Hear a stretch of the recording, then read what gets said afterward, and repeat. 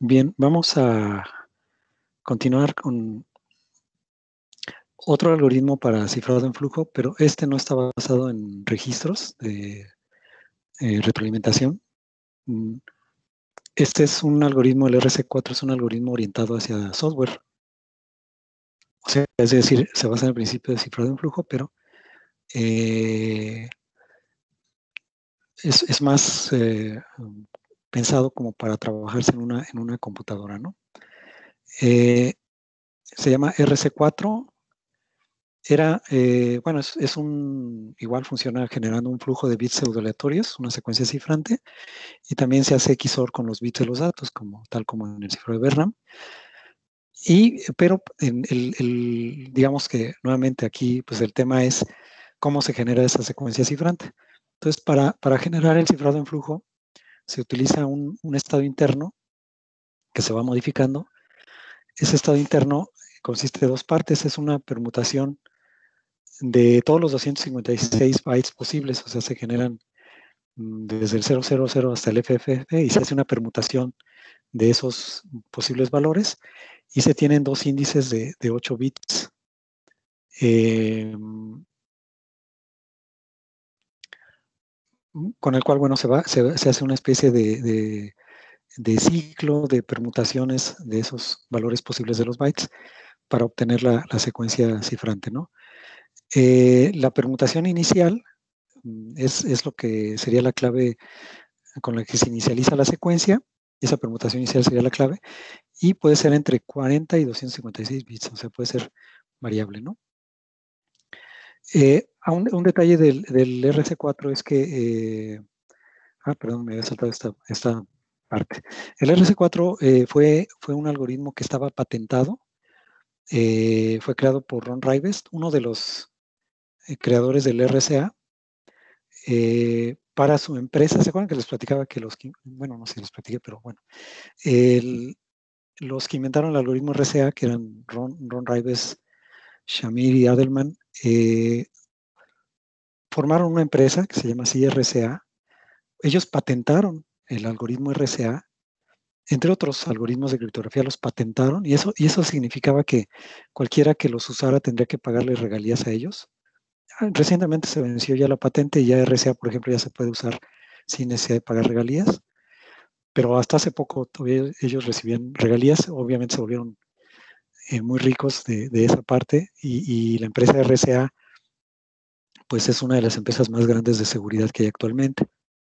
Um, hace poco la adquirió Dell, entonces forma parte de las empresas de Dell y todavía trabajan mucho en seguridad, pero, pero ya no nada más criptografía, tienen productos muy, muy interesantes de seguridad, tienen por ahí un, este, GRC muy grande que se llama Archer, eh, que es para llevar toda la parte de administración de riesgos.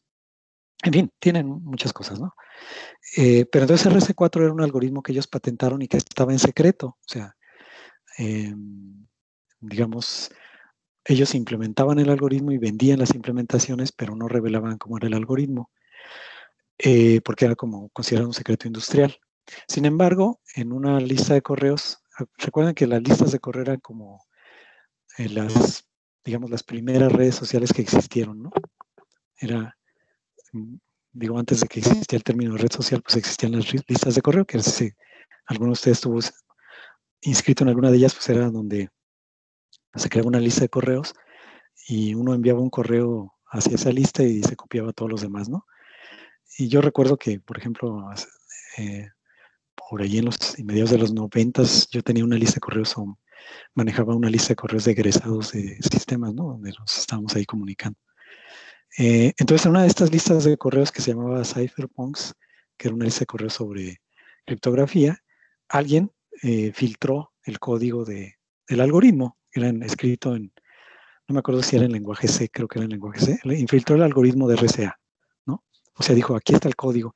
Seguramente alguien que interno que trabajaba para la compañía, que tuvo acceso al código fuente y lo filtró a esa lista de correos y entonces empezó a circular el, código atribuido a RC4. O sea, no existía ninguna certeza de que ese fuera el código real, porque fue posteado anónimamente, pero pues sí se ha confirmado como genuino, pues dado que las salidas que produce ese software pues, son las mismas que del software propietario de RSA, ¿no? Ahora, este RC4 es, es el, método de cifrado en flujo que más se utiliza actualmente, ¿no? Y que se, se utiliza en protocolos como SSL y Web, que es el Wireless Equivalent Privacy. Entonces, vamos a platicar sobre, sobre mm, pues, cómo, cómo se utiliza, ¿no? Este es el, algoritmo de, de, digamos, Key Scheduling Algorithm, el algoritmo de manejo de llaves de, de mm, de RC4. Entonces, se fijan, este es el estado interno, son, decíamos, son los valores, es como se generan las permutaciones de, de, los valores posibles de, de, los bytes. ¿Se acuerdan que decíamos, eh, el, el, estado inicial consiste en generar todos los posibles valores de, de, un byte, ¿no? O sea, por ejemplo, del 0 al 255. Entonces hago el S1 igual a 0, perdón, S0 igual a 0, S1 igual a 1, S2 igual a 2, etcétera, ¿no? Y entonces en el estado inicial yo tengo todos los posibles valores de los bytes, desde el 0 hasta el FFF, ¿no? O bueno, 255 en, decimal. Entonces, eh, así inicializo la tabla y luego creo una permutación de, esa, de esa tabla de valores de esta forma, ¿no? En donde este, está media enredada, o sea, tomo, eh, hago, elijo el índice J como J más lo que me da el valor SI más lo que me da el valor de la llave en este valor de la entrada, ¿no? De acuerdo al, o sea, tomo un valor de la, del bit, eh, bueno, del byte de la llave correspondiente, ¿no? De acuerdo al índice I. Y eso lo tomo módulo 256 y ese, y ese lo elijo como el índice con intercambio. Entonces es una manera truculenta, así como enredada de intercambiar los valores de esta tabla de acuerdo a los valores de los bytes que tenga en la llave, ¿no? ¿Ok? Y entonces, dependiendo de los valores de la llave, es cómo se va a permutar los valores de, de, este, de esta tabla de, de, números del 0 al 255. ¿no?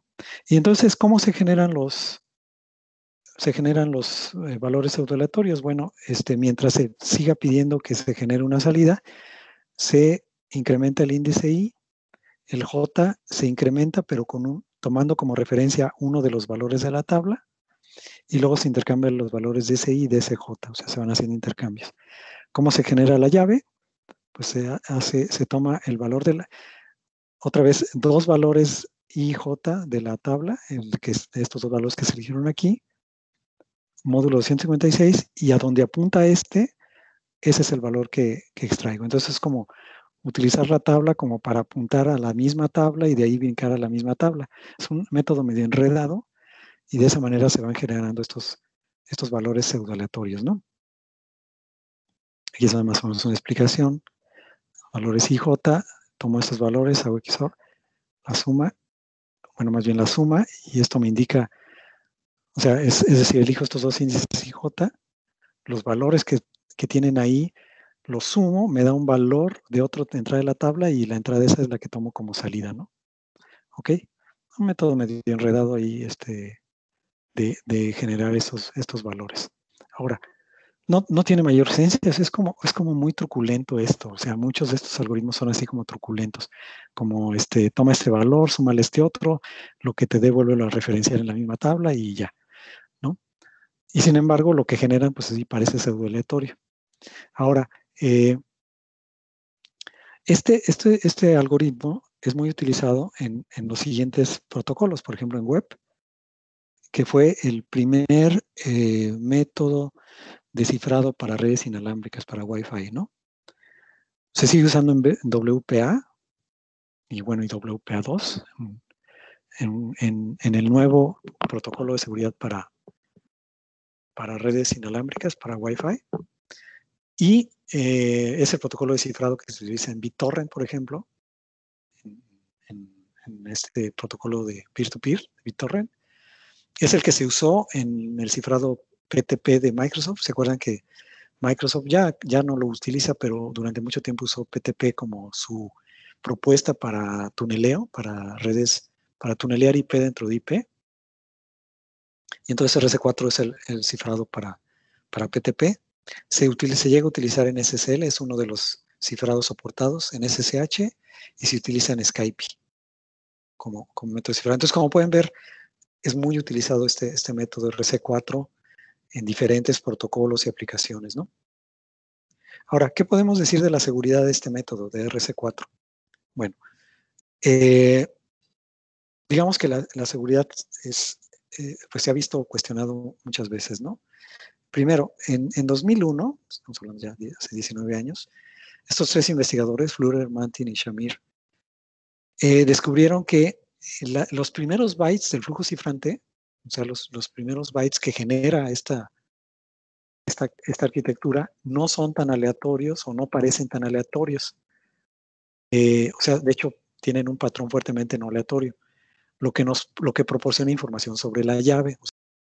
al inicio, este algoritmo al inicio genera cosas que no son tan aleatorias. Entonces, como no son tan aleatorias, da información sobre la llave. O sea, cuál fue el estado inicial que generó. Entonces, eh, la clave se puede encontrar analizando un número suficientemente grande de mensajes. Este, este método fue utilizado para romper el protocolo de cifrado web. Acuérdense que, que este web fue el primer cifrado que se tuvo en redes inalámbricas 802.11 de este estándar de IEEE. Entonces, eh, este, este primera debilidad, o sea, digamos que aquí la vulnerabilidad es que los, la primera parte de la secuencia cifrante, los primeros bytes no son tan digamos, pues, toda la secuencia de pseudo pero los primeros son, no son tan pseudo son, son muy, muy, muy este, fáciles de, predecir y entonces eso me da, eh, o sea, me da información sobre la posible clave. Este método fue utilizado para, para romper entonces el cifrado web. ¿Cómo podría defenderse uno de este ataque? Pues descartando la porción inicial del flujo cifrante, o sea, los primeros bytes que genere de, esta, de este algoritmo, los primeros bytes que estoy generando los descarto, porque son los que no son tan buenos. Entonces, este, se modificó el algoritmo que se, eh, ah, perdón, uno que, al que se llama RC4 drop n, donde n es el número de bytes a descartar. Típicamente, los primeros que debo descartar son los 768 primeros bytes. Entonces, se tendría que modificar el algoritmo para que fuera el RC4 drop 768 bytes. Entonces, lo que hago es empezar a generar bytes aquí, pero me espero hasta el 769 bytes para empezar a cifrar. Los primeros los descarto. Eh, ha habido otros ataques posteriores, por ejemplo, eh, en el 2005 ya este investigador, Andreas Klein, eh, demostró que, existen además mayores correlaciones, o sea, hay, una, hay correlaciones estadísticas entre el flujo cifrante y la clave, de tal manera que usando suficientes em, datos puedo yo encontrar una, una, relación con la clave con la que se generó esa secuencia. Entonces, eh, estos tres otros eh, investigadores, Eric Tews, eh, Weyman y Pitchkin, usaron este análisis de Klein para crear esta herramienta que se llama AirCrack, ¿no? AirCrack que mm, bueno, era capaz de, romper RC4 de 104 bits en web que tuviera una clave de 128 bits en menos de un minuto, ¿no? Sí. Eh, aquí está, bueno, el, cifrado, cifrado web, este, cómo, cómo se utilizaba en, en, en, en web, el cifrado RC4. Fíjense, el tema es que aquí había una llave compartida que se Además, este es otro tema, la llave compartida, eh, por ejemplo, en, en Wi-Fi eh, doméstico se utilizaba llave precompartida, ¿no? La llave precompartida es que doy una clave, una contraseña entre el dispositivo y, el access point. Entonces, usualmente esta clave compartida, perdón, rara vez se cambia, dura mucho tiempo. Entonces, como la cambiamos muy, muy, con muy poca frecuencia, por ejemplo, yo, yo estoy seguro, bueno, yo también incluso uno que es de seguridad no, no tiene mucho la práctica de cambiar la contraseña del Wi-Fi eh, frecuentemente. Por ejemplo, puede uno durar años con la misma clave. Entonces, como duro mucho con esa clave, este, yo puedo ir capturando, capturando tráfico hasta que encuentre cómo es esta clave. Otra debilidad de este tema es que aquí se utilizaba un vector de inicialización como parte de la misma entrada al RC4. Pero el problema es que este vector de inicialización, ¿cuál es el objetivo del vector de inicialización? Es meterle una variación a la llave. ¿Esto para qué? Usualmente se meten estos vectores de inicialización para que si, yo uso la misma llave en diferentes redes, no me genera la misma secuencia cifrante, porque eso sería notorio.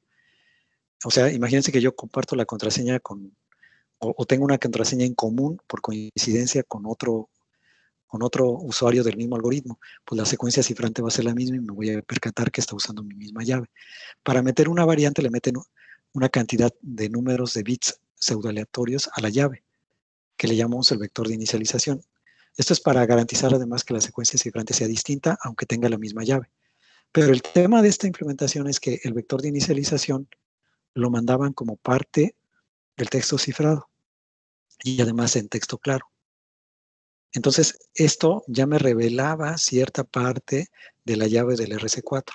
Esto fue un mal diseño, ¿no? O sea, mandar el vector de inicialización aquí. Bueno, es necesario porque para que el que comparta la llave también pueda reconstruir la misma secuencia cifrante. Ven que entonces, este era un error de diseño. Aquí simplemente lo que se hacía era eh, bueno, y fíjense que qué más se hacía. Se, tenía la llave, eh, a la llave se le añadía el vector de inicialización. Esto se alimentaba al RC4 que generaba el flujo de bits para la secuencia cifrante. Eh, el texto plano se le añadía un, chequeo de integridad que en, web era CRC, que además es muy malo CRC. O sea, hay maneras de, alterar la información de manera que no lo único que tengo que modificar es el CRC. Todo esto se, alimentaba con un XOR en la secuencia cifrante. A esto se le, añadía, el, vector de inicialización y el identificador de llave. ¿no? O sea, qué llave estaba utilizando y se mandaba todo esto ¿no? para Wi-Fi. ¿Ok? ¿Dudas sobre este, eh, cómo es el algoritmo web? No, todo bien. No. No, Perfecto. Vean entonces que, que eh, una de, había varias debilidades, uno el tamaño de la llave, el hecho de que se mandara el vector de inicialización como parte del mismo paquete, entonces se podía extraer y utilizar para tratar de obtener la clave conociendo el cifrado de RC4. Y entonces, este, eh,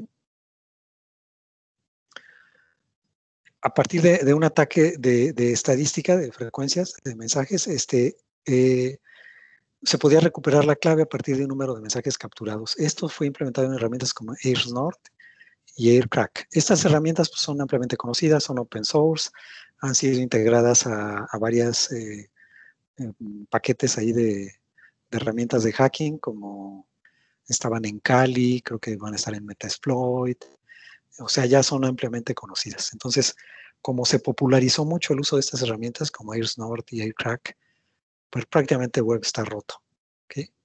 Ya no, no es conveniente usar web, aunque todavía muchos este, hardware, mucho, muchos eh, routers inalámbricos, muchos access point inalámbricos lo soportan web, la recomendación es no utilizarlo. Esto está, es, es, es vulnerable, es altamente vulnerable web. ¿no? no, debería de, de, ser utilizado ya. Precisamente por las vulnerabilidades de web se creó eh, WPA. Eh, entonces, WPA fue como, pues, fíjense, web rápidamente fue roto y la gente de los estándares de IEEE 802.11 apenas estaba trabajando el estándar de, descifrado para redes inalámbricas, que era el WPA. Como todavía no lo tenía muy bien terminado, liberó una primera versión, que es la WPA que conocemos, este, mm, que fue como, hagan de cuenta que el WPA fue como una solución urgente al problema de la vulnerabilidad de web. Eh, la sacaron así como de manera urgente antes de sacar el estándar definitivo. El estándar definitivo es el WPA2, ¿no? Eh, Entonces, el, estándar definitivo, pues ya es el que sí se hizo como, como estándar, muy bien estudiado, y el WPA es como una etapa intermedia, digamos, ¿no? Tratando de, cubrir, o sea, como, a ver, lo que pasó es que web se rompió rápidamente. Y IEEE no tenía todavía listo el estándar. Entonces, ¿qué dijeron? ¿Cómo le hacemos? O sea, no tenemos todavía el estándar listo, no lo podemos todavía sacar, pero ya se rompió web. Entonces dijeron, vamos a sacar un WPA que sea así como una mejora sobre web temporal en lo que se saca el WPA2, ¿no? Y entonces se sacó el WPA. WPA sigue utilizando RC4, o sea, es el mismo algoritmo, pero eh, las claves son, bueno, se utilizan claves de 128 bits y un vector de inicialización de 48 bits. Para mejorar la seguridad de web se implementó un protocolo que se llama TKIP, que significa Temporal Key Integrity Protocol. Uno de los, eh, uno de los cambios de, de, que se implementaron con este protocolo es que el, la clave del RC4 se cambia dinámicamente. O sea, hay un cambio de gestión, perdón, un, un, gestión de cambio de claves y, entonces cada cierto tiempo eh, la clave del RC4 se cambia dinámicamente, ¿no? El, otro tema es que este, el CRC que se utilizaba en web, el CRC es un mecanismo, bueno, de polinomial para calcular un chequeo de paridad, de tal manera que yo me dé cuenta si el paquete fue dañado o alterado en el camino. Pero es muy fácil de vulnerar. Entonces yo puedo crear paquetes espurios que, que mantengan el CRC correcto, ¿no? Entonces ese CRC se modificó y fue sustituido por un algoritmo que se llama MIC, que es el Message Integrity Check. Entonces este algoritmo MIC era en teoría un poco más fuerte que el CRC, ¿no? Tampoco era muy fuerte porque el problema es que no, el hardware con el que se implementa Wi-Fi en ese entonces, pues no era como muy, muy, este, muy fuerte y por tanto, pues no podíamos tener un, o no se podía implementar un algoritmo de, chequeo de integridad muy fuerte. Entonces el MIC, pues era algo un poco mejor ser CRC, pero tampoco era tampoco muy bueno, ¿no? ¿Ok? Entonces, este, bueno, esas fueron algunas mejoras el TKIP también tenía vulnerabilidades. También si ustedes investigan van a encontrar ataques sobre TKIP. Este, entonces también se vulneró. En fin, o sea, ha sido la, seguridad en redes inalámbricas ha sido pues, una historia media desastrosa, ¿no? Porque, porque se han propuesto ideas que se han roto, ¿no? Este, entonces ahí ha sido medio desastroso el desarrollo.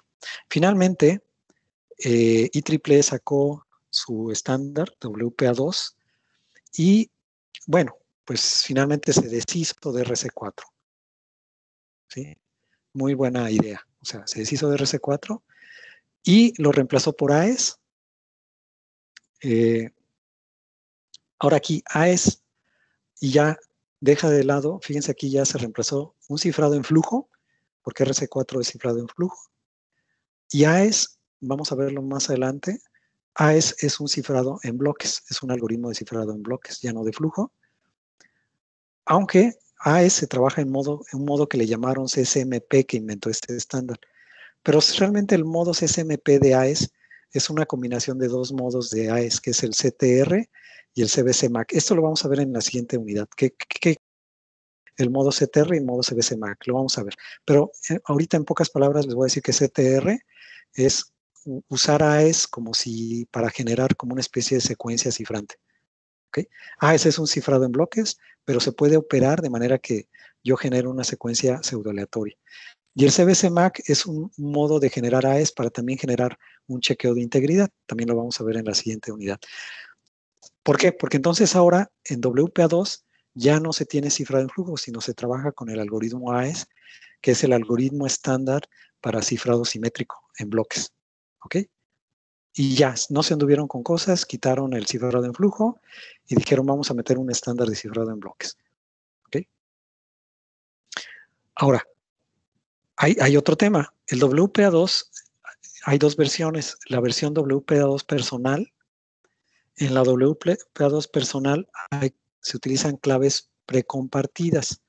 Eh, es decir, la clave inicial con la que se, se empieza a cifrar se genera a partir de una clave precompartida, que es lo que ustedes hacen cuando configuran un access point, ¿no? Le dan una contraseña, ¿no? Y luego cuando se van a conectar, a ese access point le tienen que dar esa contraseña. Este, bueno, esa no es muy buena idea, porque les digo, usualmente esa contraseña dura mucho ahí y se pueden lanzar ataques de diccionario. Entonces, como yo, o bueno, muchos usuarios tenemos la costumbre de no cambiar la contraseña frecuentemente, pues es posible lanzar un ataque de diccionario que dure el tiempo que yo quiera y eventualmente le va a pegar a la contraseña, ¿no? Entonces, eh, los ataques, este, este, WP2 personal, pues es susceptible a ataques de diccionario, ¿ok? O ataques de fuerza bruta sobre la clave precompartida. Entonces hay una versión de WPA2 que le llaman la empresarial, pero en la cual es necesario utilizar un servidor Radius, el servidor Radius este, como el servidor que reparta las claves en la red inalámbrica. Entonces es conveniente que sepan esto, que, que si ustedes van a implementar redes inalámbricas en una empresa, pues no lo hagan con la versión personal de WPA, sino que tienen que usar la versión empresarial, pero eso les implica eh, implementar un servidor Radius dentro de la empresa y, bueno, con todo lo que implica la, administración de un servidor Radius, ahí tener a los usuarios dados de alta y ah, con ellos generar las llaves para que se conecten a su red de Wi-Fi, ¿no? ¿Ok? Ahora, ¿ya está resuelta la seguridad de Wi-Fi? No. En 2017, eh, Van Hoff, este investigador de una universidad, creo que es holandesa, encontró vulnerabilidades en, WPA2 que permiten ataques que le llaman ataques de reinstalación de claves. Eh, estos, estos, ataques de reinstalación de clave eh, permiten, es, es, un ataque ingenioso que, por cierto, no se hace sobre la, fíjense, aquí la vulnerabilidad no es de, no es en sí del algoritmo descifrado. Eh, no es que se haya roto la AES o una cosa así. Aquí la vulnerabilidad es del protocolo inicial donde se establece la clave. Ese protocolo es, un, es el protocolo que se llama de handshake de cuatro pasos. Cada vez que se conecta un dispositivo a una red inalámbrica o se vuelve a reconectar, realiza un handshake, un intercambio de, paquetes que se realiza en cuatro pasos. Pues se le llama el handshake de cuatro pasos. Y en ese handshake se establece una, se establece la clave, la clave de cifrado, con la cual se va a cifrar toda la comunicación posterior. Un problema que tiene ese handshake es que, mm, como estamos hablando de redes inalámbricas, y un problema de las redes inalámbricas es que puedo tener pérdida de paquetes muy alta, a veces hay que repetir, repetir mensajes. Entonces, en el caso del handshake de cuatro pasos, este, en la parte en la que se establece la clave, se, puede tener repeticiones del mensaje de, de, establecimiento de la clave y entonces es susceptible de un ataque de reuso del mensaje. Entonces, cuando se rehúsa el mensaje, se puede forzar a que la comunicación, a que cuando se establezca la clave, la clave que yo establezca sea de puros ceros. ¿no?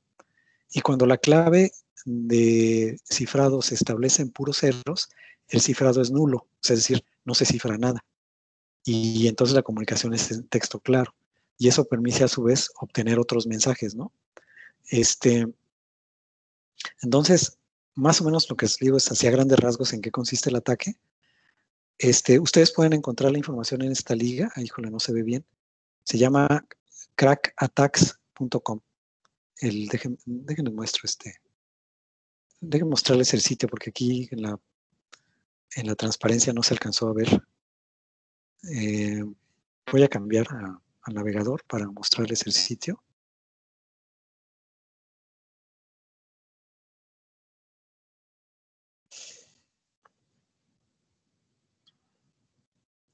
Pues déjenme ahora, ahora les voy a compartir el navegador.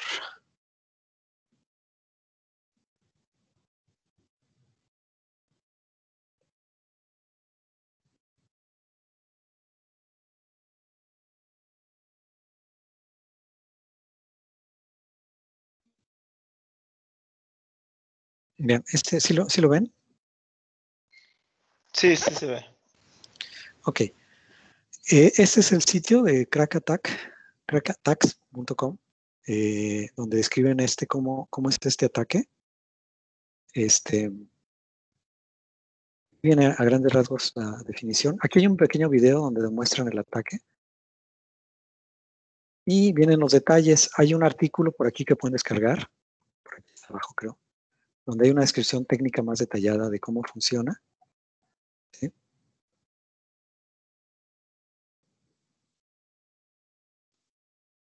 Y, cómo pueden ser... Eh, bueno, de hecho ellos desarrollaron una... Aquí está el paper. Le podrían ustedes, aquí pueden descargarlo. Pueden este, leer el paper ya con el detalle de cómo, cómo se hizo el, el, como, eh, ya el detalle del ataque, cómo funciona, ¿no? Es, te digo, es un ataque sobre el handshake. Este, ellos desarrollaron una herramienta que todavía no han liberado para romper WPA2. Como, fue roto con esa herramienta, se lanzaron advisores de seguridad. Este, porque hay variantes del ataque, ¿no? Hay, hay diferentes variantes. Entonces, hay varios advisores que se lanzaron en el 2017 y los fabricantes eh, tuvieron que hacer actualizaciones a su protocolo. Ahora, hay, un detalle bien interesante. La falla no es, no es una vulnerabilidad de una implementación, ¿no? Porque, bueno, otra cosa es la vulnerabilidad de una implementación. La vulnerabilidad del protocolo, del protocolo en sí. Eso es más grave porque quiere decir que afecta a todos los que implementaron el protocolo independientemente del fabricante. Y el otro detalle entonces es que como el protocolo fue afectado, eso implica que muy probablemente, eh, por ejemplo, en dispositivos como routers y eso, hay que actualizar firmware, ¿no? O sea, no es, no es suficiente con, cambiar algunas eh, cuantas parches en el sistema operativo, sino hay que cambiar firmware de los dispositivos. Y muchos de estos dispositivos, pues si, si no toman, tienen, prestan atención, pues este, el firmware tiene las versiones vulnerables del protocolo. ¿Ok?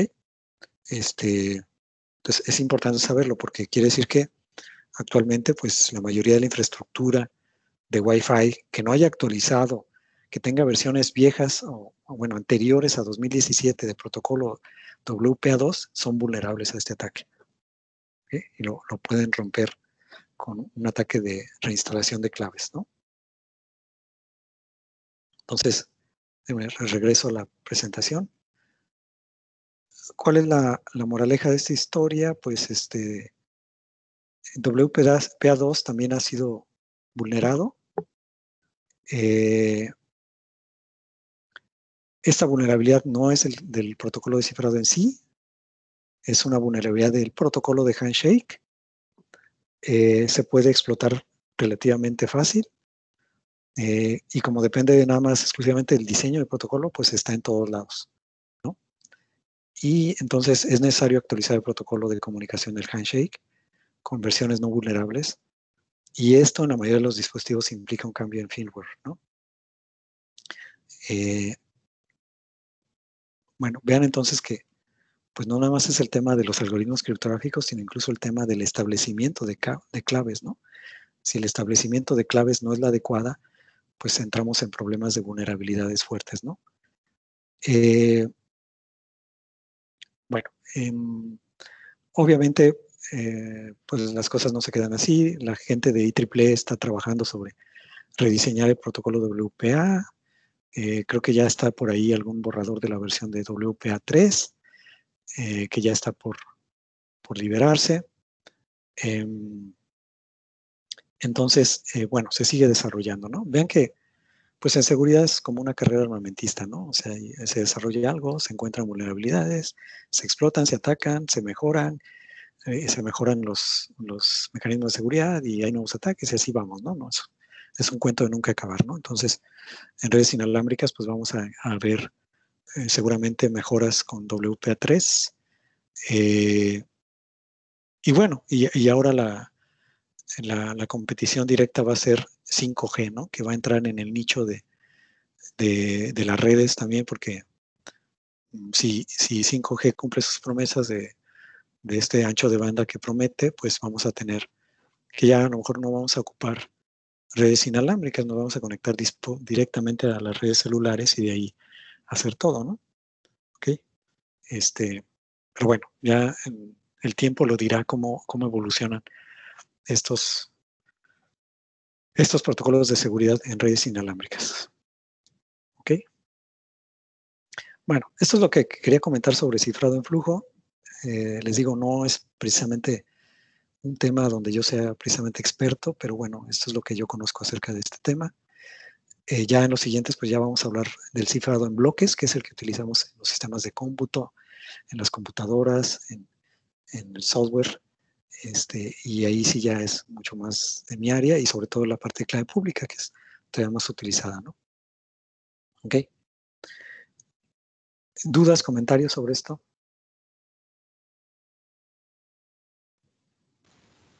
¿Hay alguna eh, herramienta o algo así, algún programa tipo AirCrack que ya tenga implementado el ataque este de reinstalación de claves?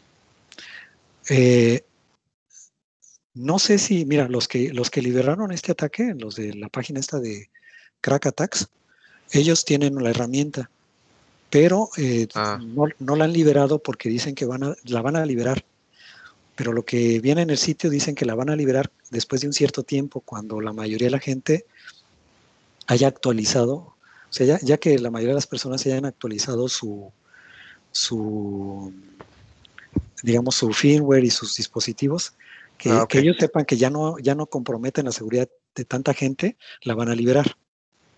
Ah, este, sí, que yo sepa, no sé, si a lo mejor hay algún otro que ya encontró la manera, porque está el artículo, ¿no? Y está la descripción. Entonces, si ellos lograron desarrollar la herramienta, pues probablemente ya haya, quien, haya más de alguno que ya la logró desarrollar también.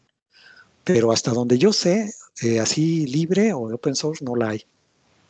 ¿no? Ah, ok. Pero yo, yo estaría preocupado, o sea, yo sí estaría preocupado porque como está la descripción del ataque libre, o sea, sí está el artículo y, y, definen cómo se realiza, pues, o sea, no... Sí, pues ya la receta. exacto, está la receta y seguramente más de algún gobierno y más de... O sea, esto ya lo tienen algún, algún gobierno ya desarrollado, ¿no? Ajá. Entonces yo sí estaría preocupado por, por actualizar rápidamente WPA2, ¿no? Ok. Ok. Sí. Muy bien. ¿Alguna otra duda, comentario? Mm, yo, doctor, eh, digo, no, no va 100% creo yo a lo que estamos platicando ahorita. Digo, tal vez va muy a algo que vamos a ver después. Eh, usted lo mencionó, eh, pero es referente a una noticia muy reciente, hace un par de meses que leí sobre un teléfono celular que supuestamente implementaba un generador de números aleatorios este, cuántico, ¿no? O seguro ante, ante este, computadoras cuánticas.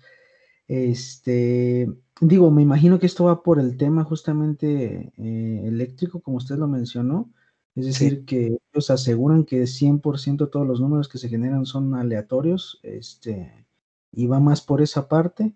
Pero ¿qué tan seguro es el, tema? Esa es mi duda principalmente. ¿Qué tan seguro es el tema de, mezclar ¿no? esta generación de números aleatorios electrónicamente con temas a lo mejor de computación cuántica, ¿no? Que es lo que pues venden en realidad ellos. Sí. Eh, bueno, es que más adelante vamos a ver que que cuando ya existen las computadoras cuánticas, ya existen pues, pero son prototipos todavía muy pequeños, no tienen mucha utilidad todavía. Pero ya que existen computadoras cuánticas más, más grandes, esto voy a adelantar un poquito, pero lo vamos a ver más adelante, las computadoras cuánticas van a romper rápidamente algoritmos de cifrado que ahorita son fuertes, como RCA, curvas elípticas o basadas en logaritmos discretos. Eh, una computadora cuántica va a romper ese tipo de algoritmos. En cuanto a las computadoras cuánticas existan ya, pero como una herramienta ya real, útil, eh, toda la criptografía de clave pública que tenemos actualmente ya no va a servir, porque se va a poder romper con este tipo de computadoras. Ahora, eso, quiere decir que entonces tenemos que replantear la criptografía a una criptografía que pueda resistir ataques de computadoras cuánticas, y esa es la que le llaman criptografía post-cuántica, como la que bueno, eh, uno de mis, eh, Rafael, no sé si lo conozcan, Rafael es de la generación anterior a la de ustedes, que ya está por titularse. Él trabajó conmigo en un tema de, de implementar un algoritmo de criptografía postcuántica, un algoritmo de firma, que en teoría ese algoritmo de firma resiste el ataque de, o sea, no, no se puede romper ni por computadoras cuánticas. Eso es factible, eso existe, ¿no? Y es un tema muy interesante. Ahora, Eh,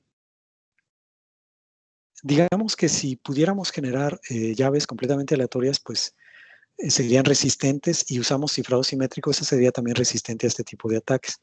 Pero el tema, como les decía, es el, cómo, cómo, generamos, ah, cómo generamos llaves que sí sean completamente aleatorias. Me voy a, a lo mejor les voy a, hacer un spoiler de, de, la tarea que les he dejado, de, algo que a lo mejor van a encontrar, es que ya hay algunos dispositivos que incorporan circuitos que generan ruido.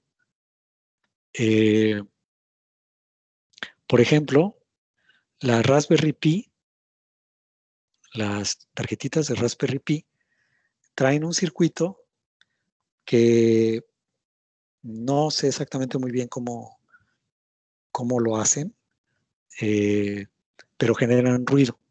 Entonces, al generar ruido es un pequeño circuito de retroalimentación ahí electrónico que es muy, muy sensible a la temperatura. Entonces, hasta donde yo entiendo, a lo mejor me equivoco, porque te digo, no hay mucha información al respecto. Estos circuitos, como son muy sensibles a la temperatura, con pequeñas variaciones de temperatura, tienen pequeñas, tienen variaciones en los voltajes y eso te permite generar variaciones en bits. Creo que ese es el principio con el que trabajan estas, este, este chip que viene dentro de las tarjetas Raspberry Pi. Lo incorporaron ahí los diseñadores de la tarjeta para precisamente generar llaves de cifrado. Eh, eso existe, ya está ahí, lo pueden usar en las... Entonces no me sorprendería que en otros tipos de dispositivos tuviera chips similares. Em, nada más que mm, pues no hay mucha información sobre la Raspberry Pi, pero incluso si hay una, alguien por ahí desarrolló incluso una librería que es la interfaz con el, con el hardware, que a nivel de librería te permite obtener bits, bueno, no todo bits aleatorios. ¿Ok? Entonces, este, sí, o sea, es posible. Es, eh, este, este, tipo de dispositivos pueden tenerlo. O sea, te digo, yo, yo sé porque hace un par de años que, que estábamos trabajando con otro tesista en implementar algo sobre Raspberry Pi, él encontró que existía esa información, eh, bueno, más bien ese, ese componente dentro de las tarjetas Raspberry Pi. Eh, lamentablemente no había mucha información al respecto ni mucho desarrollo. Solamente había por ahí una librería que encontramos en lenguaje C que servía como interfaz hacia ese hardware para poderlo utilizar. Entonces, no me sorprendería que, que hubiera desarrollos similares en, para, por ejemplo, celulares, ¿no? Sí, y, es posible porque pues cada vez los celulares son más potentes, incorporan más componentes, ¿no? Entonces, eh, no es muy lejano que podamos meter un, dispositivo de ese tipo dentro de, dentro de un celular. Que, sería así como un, dispositivo que es un circuito que es muy sensible a la temperatura, que con variaciones térmicas pues, puede permitirnos generar ruido. Porque finalmente que es una secuencia aleatoria, de bits aleatorios, pues es una secuencia de ruido, ¿no? Y lo que queremos es generar ruido. Y cuando decimos, entonces cuando pensamos en el problema de generar bits aleatorios, mm, nos encontramos con el problema de cómo generar ruido. ¿Sí? ¿Cómo le hacemos para generar ruido? Entonces, este, a nivel electrónico, pues sí es posible hacerlo con ese tipo de, de circuitos, ¿no? ¿Sí, ¿Sí me explico? sí, de hecho, sí. Ah, a mí lo que me queda a lo mejor en duda, mm, digo, sé que a lo mejor lo vamos a ver un poquito más adelante, pero es, eh, entiendo que electrónicamente, ya no lo explicó, se puede generar en base a ciertas eh, características o, atributos que se le den al, circuito electrónico estos números aleatorios. Eh, pero lo que más me sorprendió es que lo venden como si el circuito electrónico también fuera resistente a, por así decirlo, a, predicciones cuánticas, que sabemos que, bueno, la, computación cuántica va por ese tema, ¿no? La probabilística principalmente.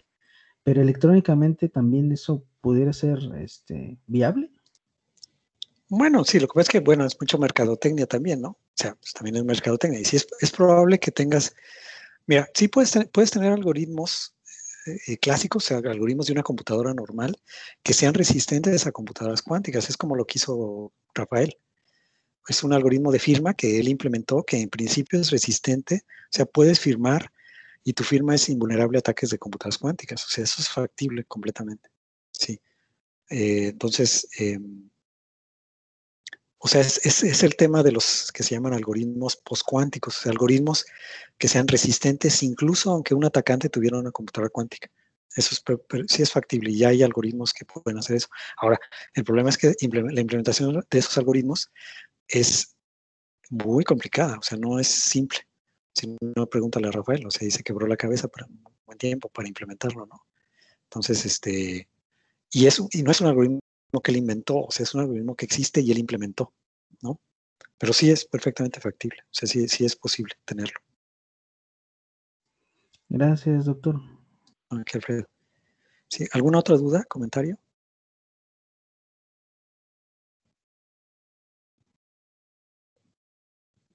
No, de mi parte no. Ok, entonces, de todas maneras, está ahí este ejercicio que les voy a dejar para que ustedes investiguen y se documenten. Em, les voy a pedir que para la siguiente sesión hagan una pequeña presentación, o sea, pequeña, dos, tres slides, de lo que ustedes encontraron sobre estos temas que les pregunté. Bueno, ya hablamos un poquito sobre esto, el tema de eh, los chips para generar ruido y cosas de esas, ya, bueno, ya me adelanté un poco, pero les voy a pedir que, cada uno haga una pequeña presentación y, y, al inicio de la siguiente clase la comentemos, ¿no? Sí, sí está bien. Muy bien. Entonces recuerden que la siguiente sesión es para que trabajen en esto. Bueno, no la siguiente sesión, la siguiente fin de semana. Y la siguiente sesión la tendríamos en 14 días, ¿no? Ok. Ok, doctor. Bien. Pues muy bien. Pues si no hay más dudas ni comentarios, pues, pues gracias y que tengan muy buen fin de semana. Igualmente, doctor. Muchas gracias. doctor. Hasta luego. Igualmente, doctor.